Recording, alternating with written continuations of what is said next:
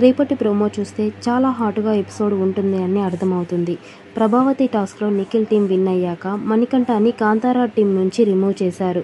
So Manikanta చాలా emotional అవుతూ ఉంటే నిఖిల్ వెళ్ళి ఓదారుస్తూ ఉంటాడు.